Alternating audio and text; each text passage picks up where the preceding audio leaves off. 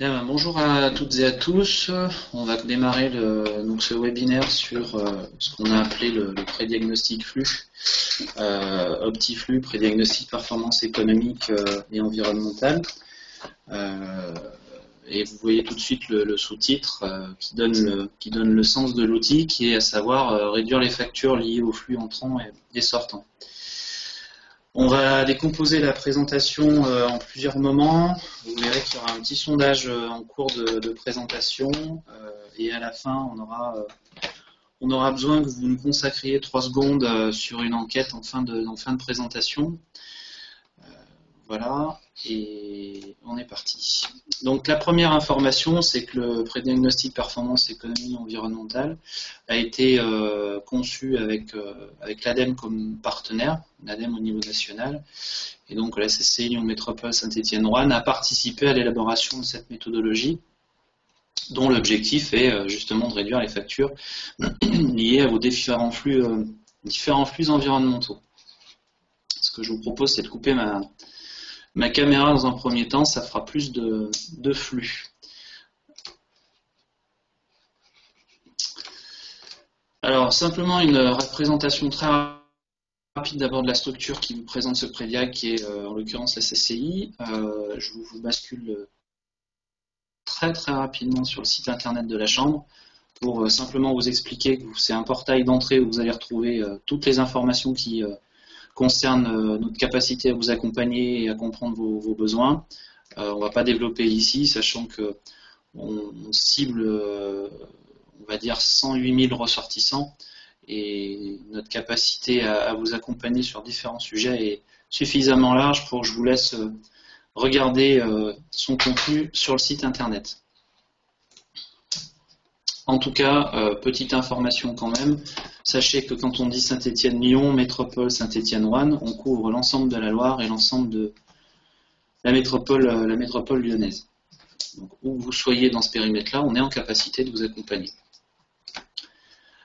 Autre petite information, euh, plus spécifiquement sur la thématique qualité, sécurité, environnement, vous avez la possibilité d'accéder à une communauté de pratique du même nom, la communauté QSE, qui s'appelait euh, Ecobiz et qui devient euh, CCI Business euh, Communauté Qualité, Sécurité, Environnement.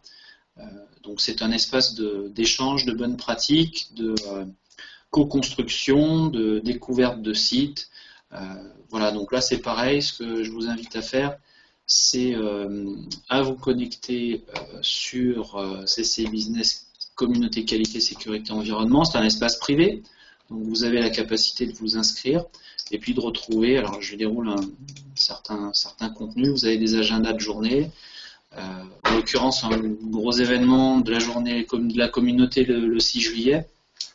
Vous avez euh, euh, des contributions qui sont fléchées sur ces trois sujets que sont la qualité, alors au sens large, hein, au sens de la performance de l'entreprise, qui inclut par exemple euh, des euh, thématiques comme le lean manufacturing ou le lean management et euh, l'environnement. Vous voyez que vous avez des retours sur des enquêtes nationales, vous avez des informations sur REACH, vous avez des appels à projets, etc.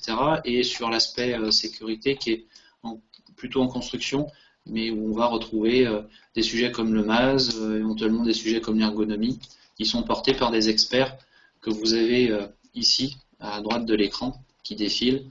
Voilà, des experts qui sont aussi euh, euh, en, train de nous, rejoindre. Et cette communauté a pour objectif de rassembler, d'être un point central sur ces thématiques sur l'ensemble de notre périmètre géographique. Alors maintenant, venons au, sujet du, du prédiagnostic qu'on a appelé au petit flux, prédiagnostic flux. on est parti d'un constat puisque maintenant la, CCI euh, s'occupe de questions environnementales depuis de nombreuses années, on, voit une évolution. On peut dire que le constat, c'est que quand on parle d'entreprise, euh, à l'entreprise pardon d'environnement, on a souvent euh, cette image qui, qui nous revient, puisque l'entreprise voit souvent l'environnement comme une contrainte. Alors contrainte pourquoi? Parce que on va parler tout de suite des, des coûts nécessaires d'investissement pour euh, respecter en l'occurrence la réglementation qui est très prégnante sur cette question environnementale, qui va concerner euh, tous les sujets, que ce soit l'eau, que ce soit l'air. Euh, vous savez tous que par exemple sur une facture d'eau, vous avez une part de consommation, vous avez une part d'assainissement qui vous est facturée et en tant qu'entreprise, professionnelle, industrielle, vous êtes amené à, investir pour respecter par exemple des, valeurs limites. Tout ça étant issu de la réglementation est vu comme un coût, c'est un coût pour l'entreprise. L'autre notion qui arrive en tête, c'est la notion de risque. Euh, risque d'image, risque vis-à-vis des riverains, risque euh, bah, financier, on en a parlé, risque, de sanction. Voilà, cette notion de risque, elle est d'ailleurs euh, inscrite dans la nouvelle version de la l'ISO 14001, version 2015. Ça fait le lien avec le dernier logo qui est justement l'ISO. L'autre on va dire, vision de l'entreprise en termes de, contraintes, c'est euh, que les certifications euh, sont plus ou moins imposées euh, par les clients. Alors bien évidemment, hein, je force le trait parce que on a des, entreprises qui sont volontaires dans, ce, dans cette direction de reconnaissance des efforts accomplis en termes de certification par l'ISO ou par d'autres bah, par d'autres labels, par d'autres types de certificats. Mais encore une fois, c'est souvent vu comme une, comme une contrainte. Et nous, notre vision, c'est pas du tout celle-là. Enfin, euh, c'est ce en quoi on croit. C'est que pour nous, euh, l'environnement dans l'entreprise, en fait, n'a pas le bon éclairage, pas le bon éclairage. En tout cas, cet éclairage, il n'est pas, pas complet.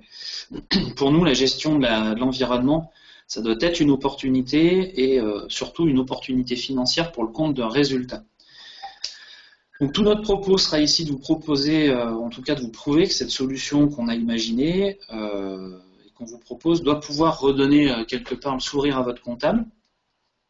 Alors on est conscient que c'est un peu décalé, mais c'est quand même la réalité de l'entreprise de créer de la valeur par la performance et l'optimisation. Et c'est ces mots-clés-là qu'il va falloir qu'on garde en tête et qui se traduisent dans la mise en œuvre de ce prédiagnostic. Alors si on déroule euh, sur la méthodologie, euh, on peut partir du principe qu'une entreprise, euh, elle est là d'abord pour produire. Donc j'ai pris un petit objet qui est bien à la mode là. voilà, c'est cette entreprise-là, elle, va, produire cet objet-là. mais pour produire cet objet-là, elle a besoin d'un certain nombre de, de, flux. Enfin, en tout cas, elle est traversée par un certain nombre de flux. Alors vous avez l'eau, vous avez l'énergie, vous avez bien évidemment la matière première, vous allez euh, utiliser des consommables et vous allez générer ces déchets. Et euh, tous ces flux, on va les qualifier de, flux, euh, de flux environnementaux. Alors les flux entrants, tout d'abord, vous retrouvez la matière première, les consommables. on retrouve aussi ces, mêmes flux en sortie, par exemple les chutes de matière. Euh, les consommables non consommés, euh, l'eau sous forme de, déchets euh, ou de rejets, plus particulièrement de rejets. On peut parler de déchets quand on est sur des rejets d'eau très, spécifiques, de déchets et, de produits.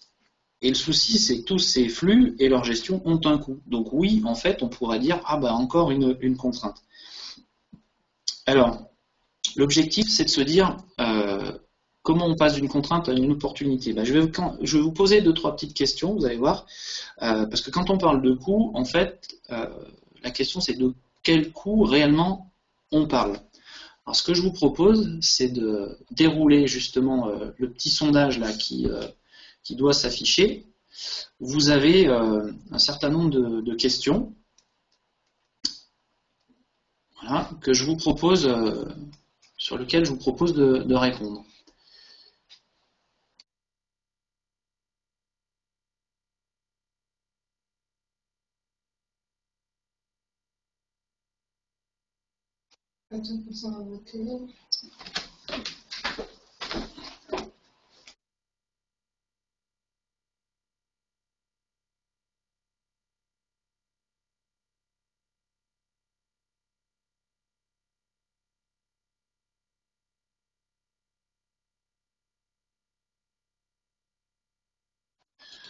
Vous voyez par exemple sur la première question, le coût complet des déchets, euh, parle bien de coût complet. Alors la, justement, tout le questionnement, c'est de se dire, mais c'est quoi le coût complet?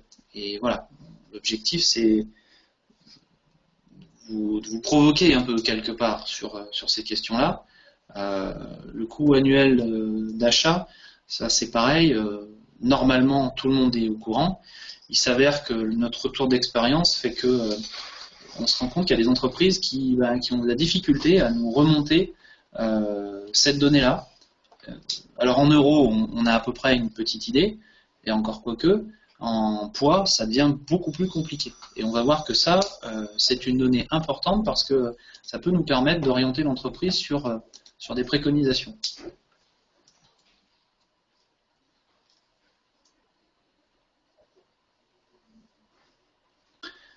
Et pour vous montrer qu'il y a des éclairages qu'on oublie quand on parle d'environnement, c'est justement cette question, c'est selon vous les données financières concernant l'environnement sont présentes dans, à votre avis, dans le bilan, dans le compte des résultats? Parce que oui, on a, un lien. Je vais vous laisser répondre et puis... Euh,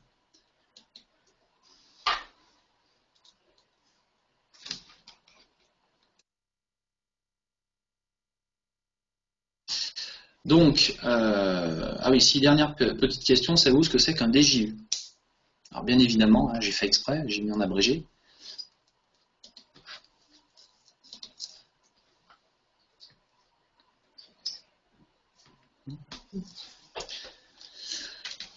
Alors je vais vous donner la réponse à la dernière quand même. Un DJU, c'est un degré jour unifié. En fait, quand vous faites, euh, quand vous calculez vos consommations énergétiques, par exemple, imaginons que vous soyez euh, une entreprise tertiaire, vous, chauffez euh, à l'électricité ou au gaz, euh, la première question, c'est de savoir ce que vous consommez. La deuxième question, c'est de savoir si vous avez plus ou moins consommé que l'année d'avant. Le problème, c'est qu'on sait que le climat, il influe sur cette consommation. Eh ben, le DJU, il va vous permettre de relativiser par rapport au climat les consommations énergétiques. C'est comme ça que vous allez vous rendre compte en faisant une sorte de, ratio euh, que, par exemple, je dis n'importe quoi, euh, vous avez consommé 50% de plus de chauffage en 2017 par rapport en 2016, mais en ramenant vos DJU, vous allez vous rendre compte aussi qu'il a fait deux fois plus froid. Donc, bon an, mal bah, vous n'êtes pas si, euh, si mauvais que ça, parce que justement, vous ramenez au climat, bah, vous arrivez à consommer à peu près la même chose. Voilà. Mais on peut avoir le constat complètement à l'inverse, de dire bah, il a fait euh, moins froid en 2017 qu'en 2016, et pourtant j'ai consommé plus. Donc ramener au, ramener au climat. Et là, il y a des questions à se poser, de se dire bah, pourquoi? C'était cet éclairage en fait euh, euh, financier qui va nous permettre de, raisonner différemment euh, sur cette question environnementale.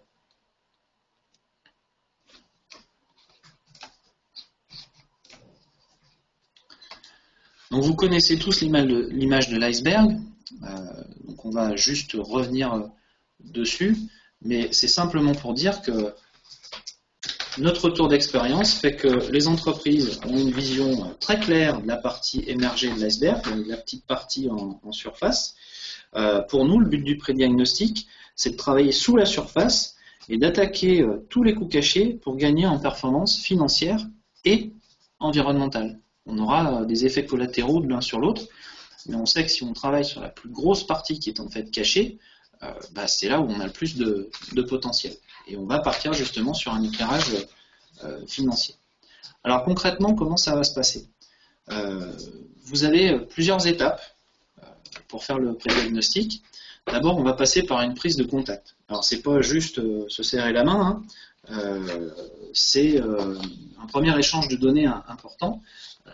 par exemple, répondre aux, questions sur lesquelles vous avez été sondé et sur lesquelles vous venez d'apporter vos réponses pour savoir, nous, à notre niveau, quel est votre, entre guillemets, euh, degré de maturité en ce qui concerne la gestion de vos données environnementales. Ensuite, on va euh, venir visiter l'entreprise. Alors, le but de la visite, c'est euh, de faire un constat de visu et comparer la situation réelle à votre ressenti. Parce qu'on se rend compte aussi qu'on a quelquefois des décalages entre ce que vous pensez et ce qui est fait sur le, sur le terrain. Alors il n'y a rien de péjoratif ou de méchant dans ce que je dis, je vais juste vous l'illustrer. Euh, un jour, je fais un prédiagnostic dans une entreprise avec le chef d'entreprise qui me dit oh, mais sur les déchets, on est, moi, on, gère nos déchets, il n'y a pas de souci, etc. Et puis je fais la visite de l'atelier euh, réparation et en fait, je me rends compte, euh, je vous la fais courte, que le vendredi après-midi, on brûle les déchets au fond de la cour. Voyez, comme quoi il peut y avoir une, différence. Alors je dis pas que c'est chez tout le monde, on n'en est pas encore une fois à cette caricature partout, mais on peut avoir une, vraie différence entre euh, l'aspect euh, pratique et l'aspect euh, théorique. Et cette visite d'entreprise, elle a aussi pour but de consolider les données que vous nous aurez fournies et de discuter avec différents interlocuteurs lors de cette phase de visite. Et puis ensuite, on a euh, un travail un peu classique, hein, euh, qui est un travail de, synthèse euh, et de restitution. Mais au milieu de cette synthèse et cette restitution, l'objectif pour nous, c'est de vous faire des préconisations. Voilà, de vous faire des préconisations sur l'élimination de coûts sur les déchets, sur l'eau, sur en tout cas les cinq flux que vous avez vus tout à l'heure qui traversent l'entreprise. Donc chacune de ces étapes permettra de progresser afin d'atteindre des objectifs. Le premier, c'est connaître les attentes de l'entreprise et la vision de ces flux qu'elle perçoit. On va, y revenir plus en détail. C'est identifier, c'est évaluer, c'est mesurer l'écart entre le besoin réel de l'entreprise sur les flux et ses usages. C'est apporter des solutions d'amélioration concrètes parce qu'au final, on est quand même là-dessus. C'est euh, avec quoi vous repartez et qu'est-ce que vous êtes, euh, qu'est-ce qu'est-ce que vous êtes en capacité de faire en termes d'investissement, mais aussi de retour rapide. Voilà, et puis c'est de garder quelque part une, traçabilité des, euh, des actions. Et donc chacune euh, des étapes permettra la progression vers les objectifs du prédiagnostic que vous retrouvez dans la matrice ci-dessous. vous voyez que la prise de contact va nous servir, parce que je dis nous, c'est une co-construction, hein, c'est vous et nous, va servir à avoir un bon niveau d'information sur vos attentes et, la vision de là où ça nous emmène, euh, alors que euh, la visite va nous permettre de euh, réellement mesurer les écarts de façon pertinente entre, encore une fois, la théorie et la pratique. Je ne détaille pas la matrice, hein. vous avez compris comment, comment ça fonctionne. Alors on va retrouver un schéma qui est un petit peu différent du pré-diagnostic flux, mais pour expliquer dans le détail comment ça fonctionne. Vous avez, euh, on va dire, une étape 1 et 2 qui peuvent être regroupées dans la, prise de contact, qui sont l'évaluation des enjeux et la maturité. Ensuite, vous avez euh, ce qu'on a appelé flux, qui est en fait la visite physique dans l'entreprise. Et ensuite, la synthèse et les préconisations dont on vient de parler. On a mis un petit logo ISO 14001 parce que le prédiagnostic, c'est aussi une réponse à la nouvelle version de l'ISO 14001, puisqu'elle euh, vous demande d'identifier vos enjeux euh, au niveau de l'entreprise. Ben, on va dire que le prédiagnostic, aujourd'hui, pour nous, est déjà un, élément de réponse euh, à la norme, comme d'ailleurs il peut l'être sur la partie préconisation, puisque la version 2015 vous parle de performance environnementale, et qu'en termes de performance, on peut citer la performance liée à la diminution des impacts, mais euh, si demain vous arrivez à prouver que cette performance environnementale, c'est aussi une performance économique pour l'entreprise, c'est un nouvel éclairage qu'on n'avait pas forcément l'habitude de voir.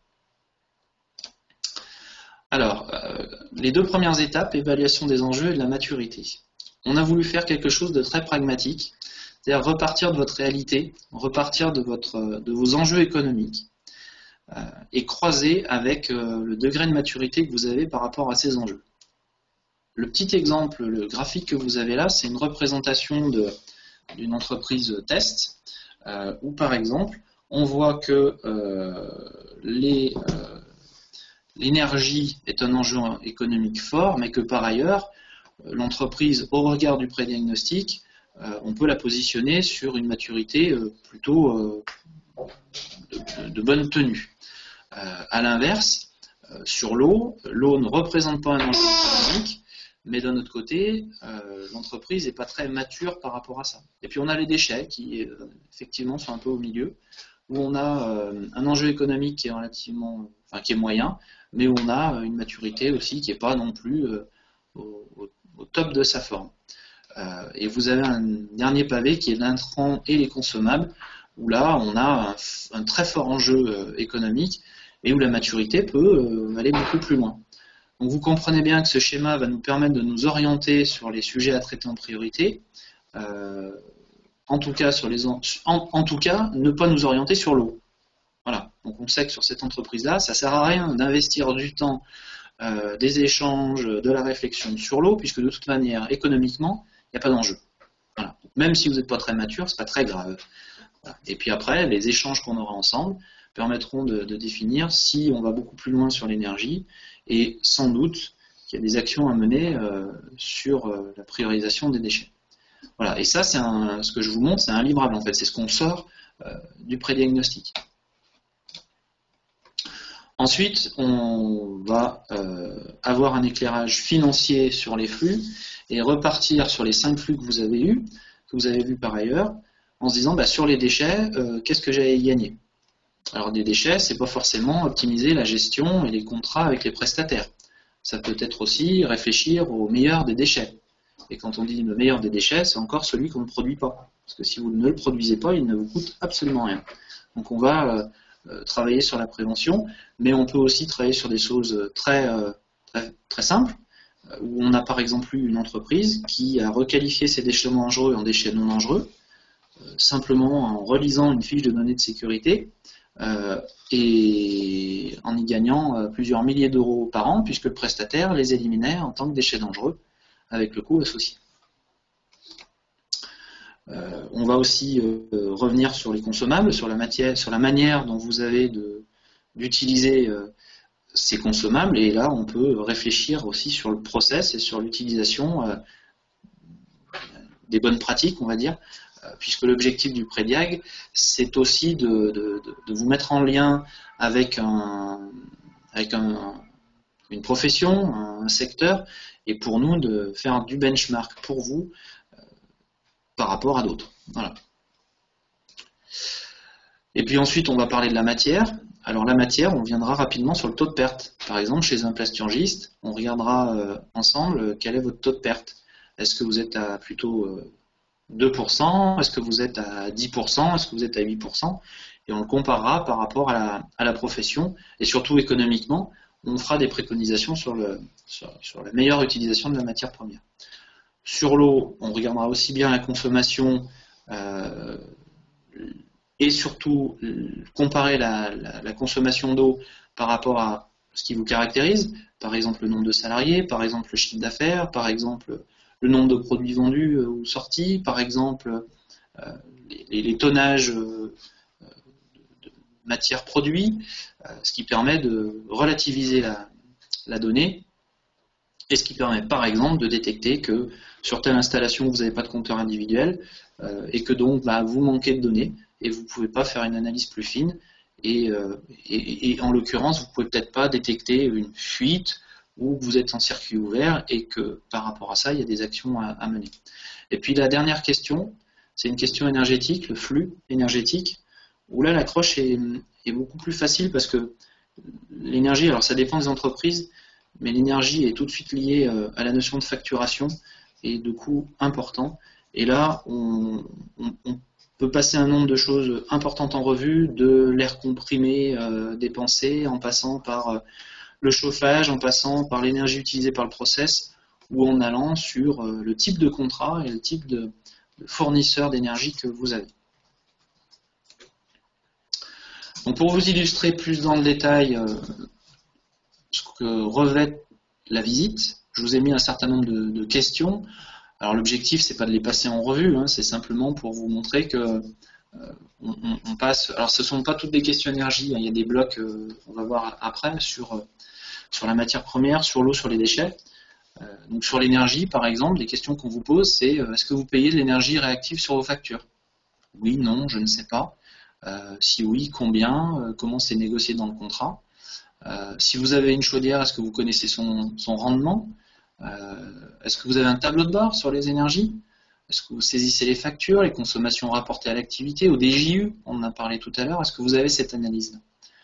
Alors c'est du oui, du non, mais en tout cas, c'est surtout de l'information pour nous qui nous permet de, euh, positionner ensuite l'entreprise sur les grilles d'enjeux, maturité et euh, d'identifier les pistes de préconisation. Au même titre, vous avez des questions sur les matières, vous avez des questions sur l'eau, on ne va pas toutes les faire, et sur l'organisation interne. Euh, par exemple, on va vous demander si vous avez fait une étude pour optimiser le temps par opérateur pour trier les déchets. Alors bien évidemment, hein, le questionnaire il n'est pas déroulé partout et dans toutes les entreprises, parce que ça supposerait une, applicabilité chez chacun et en l'occurrence, quand on dit par exemple, vous avez optimisé le trajet des déchets pour éviter la manutention, on est bien conscient que dans une entreprise euh, à 5 personnes ou 6 personnes, la question elle a plus ou moins de, sens. Donc on adapte aussi en, fonction de la cible et en fonction de l'entreprise qu'on a en face de nous les questions qu'on vous pose. On ne passe pas tout le questionnaire en revue.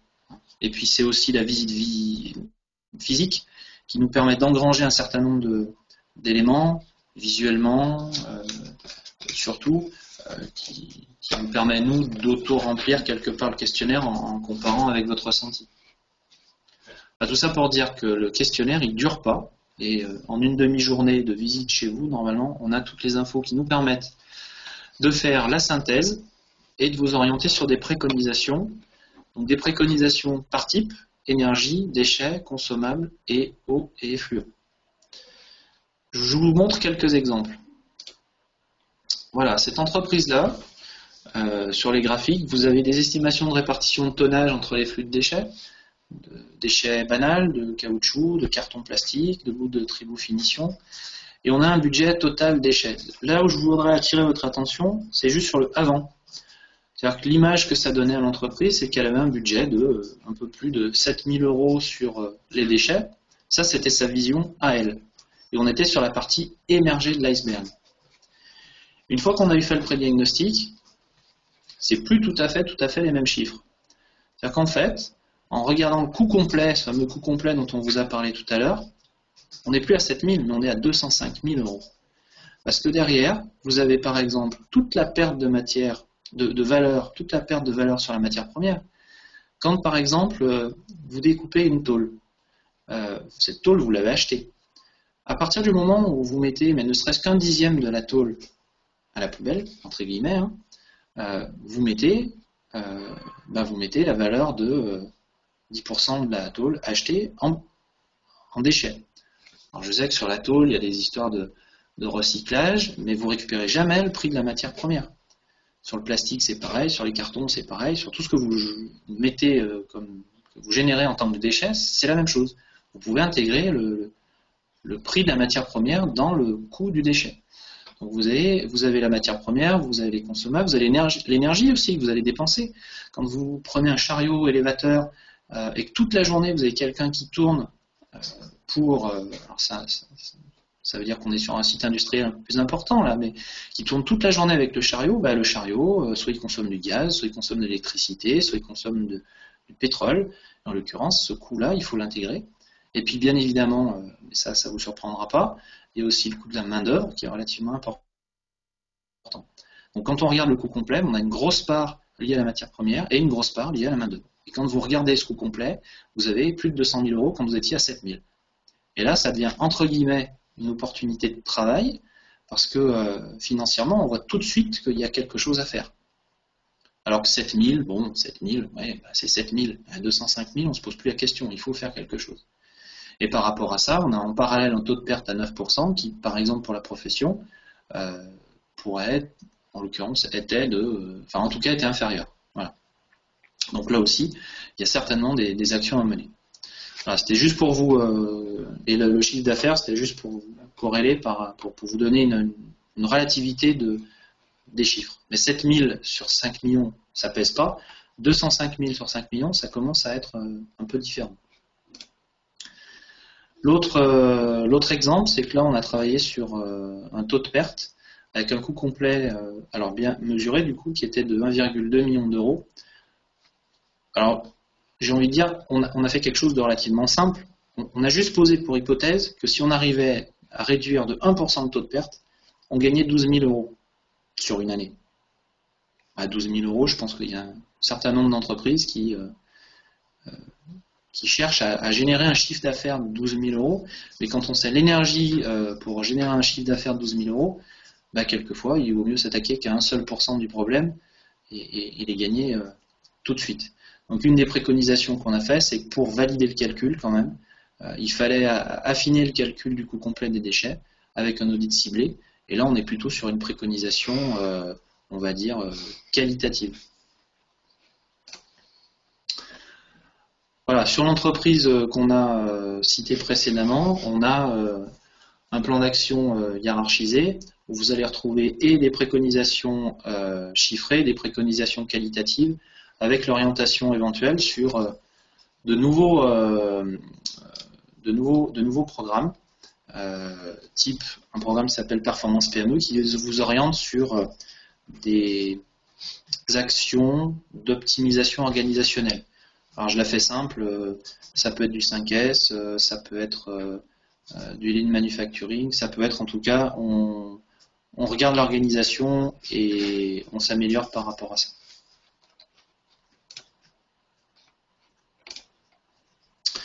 Maintenant, je voudrais revenir sur un témoignage d'une entreprise, parce que je pense que c'est important que, que qu'un de vos pères vous parle.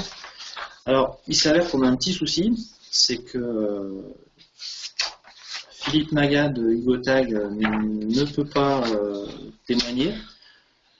Donc ce que je vous propose, enfin en tout cas physiquement, il y a une vidéo en l'occurrence qu'on avait, avait tournée, mais ce que je vais faire, c'est que je vais vous lire ses propos et ce sont ses mots. C'est-à-dire que vraiment, j'ai rien réinventé.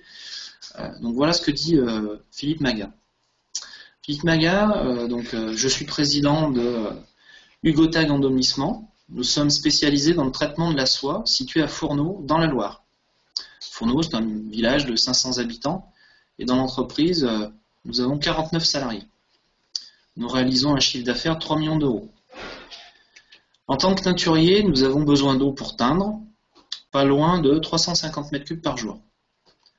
Nous avons besoin d'énergie car il faut aussi chauffer cette eau pour faire les teintures, pour sécher le tissu. Donc ce sont des consommations de gaz qui sont assez importantes. Nous avons également notre propre station d'épuration pour traiter nos eaux résiduelles et qu'en plus nous rejetons au milieu naturel, donc on doit être parfait au niveau du traitement. Ce prédiagnostic, euh, pour nous, il est très pertinent parce qu'il permet d'analyser des différentes composantes et ça permet de voir comment on se situe, de voir notre performance, de voir là où on a des axes d'amélioration.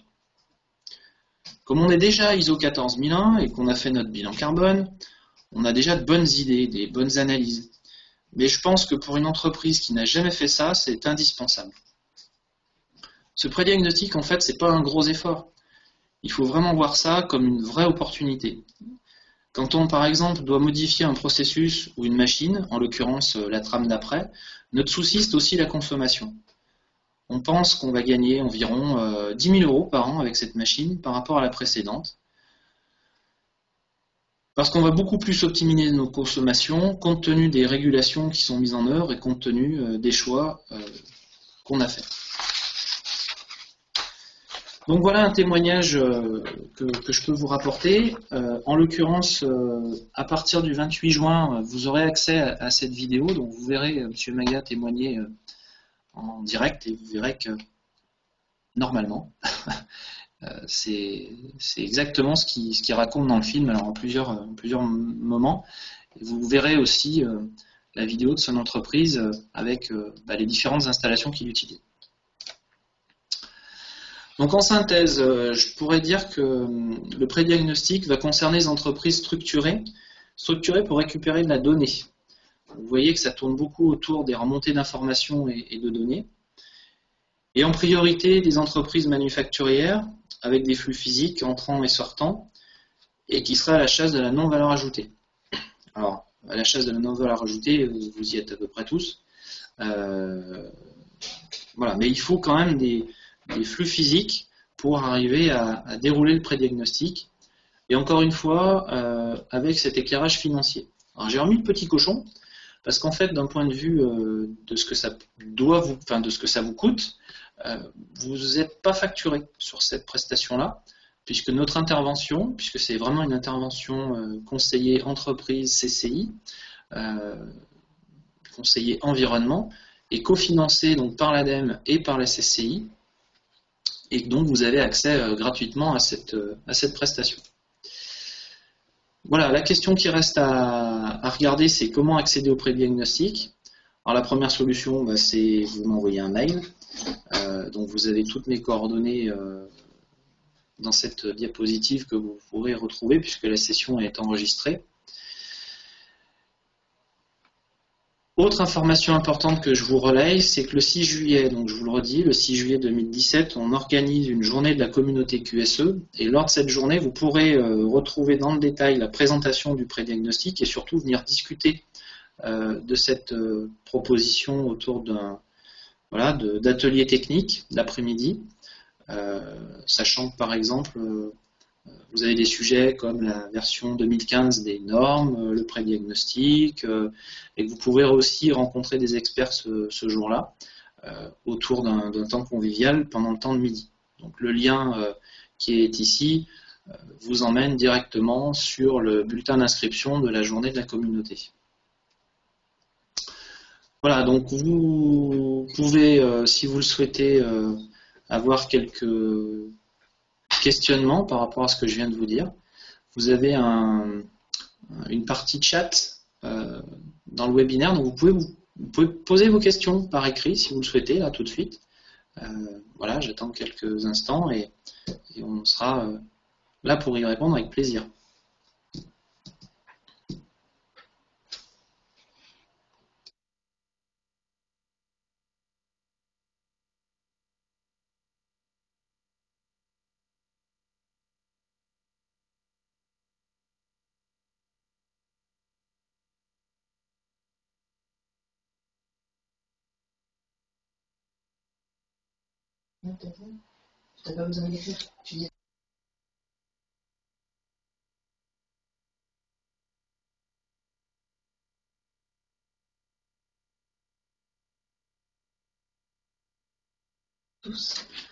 Alors, je vais revenir sur une, question qui, nous est souvent posée. En fait, c'est euh, combien de temps ça dure? Donc, Je vous redis, euh, donc la, partie euh, prise de contact, c'est quelque chose qui peut être rapide. On le positionne en général à minima, il, nous faut, euh, il nous faut les informations 10-15 jours avant la visite pour qu'on ait le temps de mouliner les données, pour qu'on ait le temps de vous reposer des questions, d'affiner euh, euh, ces données-là. Donc voilà, donc il y a ce, moment-là. on peut prendre contact par téléphone d'ailleurs, parce que c'est quand même plus, plus facile d'avoir une première prise de contact comme celle-là. Et ensuite, la visite va prendre une demi-journée. Alors, je vous cache pas que c'est une grosse demi-journée. Il hein. faut, vraiment être euh, mobilisé et, vraiment pas avoir d'autres problématiques à gérer à ce moment-là, parce qu'on va passer une demi-journée à gérer ça. Enfin, à faire cette visite et à échanger euh, autour de, vos données. Ensuite, on a besoin, euh, on va dire, de, trois semaines pour compiler, les données et vous orienter sur les premières préconisations, aller faire des recherches aussi pour faire du benchmark. Et pour terminer, la restitution et la synthèse, on a à peu près besoin d'un temps de, deux heures pour euh, restituer ensemble avec le chef d'entreprise.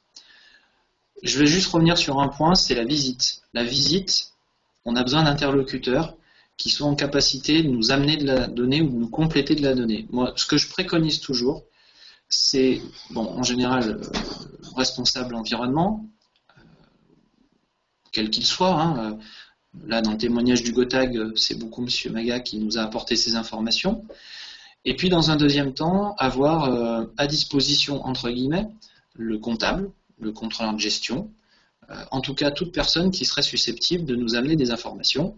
Parce que pour revenir à la question tout à l'heure dans le sondage, est-ce que vous savez où est-ce qu'il y a des informations environnement dans le compte des résultats ou dans le bilan? Je vous ai déjà un petit peu donné la réponse. Alors, je vous cache rien, vous vous me voyez en plus, donc euh, je cherche mes, feuilles de pompe.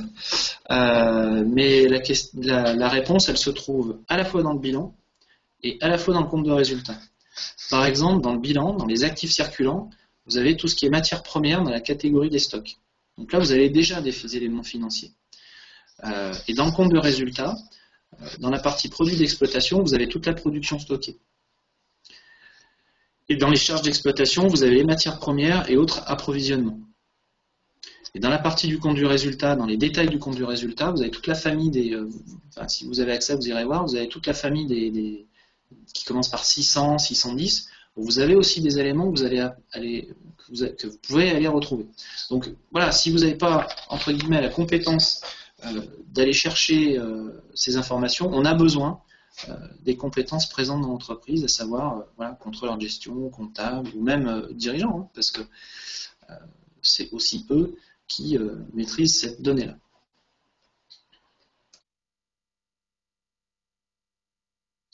Voilà, donc on est à votre disposition pour aller euh, un petit peu plus loin. Pour aller plus loin d'ailleurs, euh, vous allez euh, pouvoir aller sur mon espace CCI. Alors sur le site internet de la CCI, vous verrez en haut à droite, vous avez ce petit logo là, mon espace CCI, connexion, créer un compte. C'est relativement simple, hein. vous, bah, vous, créez un compte et vous pourrez aller dans tester mes performances retrouver euh, un autodiagnostic en ligne qui vous permet déjà de vous positionner sur les enjeux et la maturité de l'entreprise. À partir de lundi prochain, vous pourrez retrouver cette présentation sur la chaîne euh, YouTube de la CCI. Et si vous avez besoin d'éléments complémentaires, bah, vous n'hésitez pas à, nous recontacter. Moi, ce que j'ai à faire, c'est à vous remercier de votre présence et de votre attention. Et simplement vous demander encore 10 euh, secondes puisque quand on va fermer cette session de webinaire, vous allez devoir, si vous voulez, mais vous pourrez répondre euh, à une petite enquête très rapide, il y a 3, 4 questions, je ne sais plus, euh, pour, nous, orienter par la suite. Voilà, ben, je vous remercie et puis euh, en espérant vous revoir sur une autre session, sur une autre thématique lors du webinaire animé par la CCI. Bonne fin de journée, au revoir.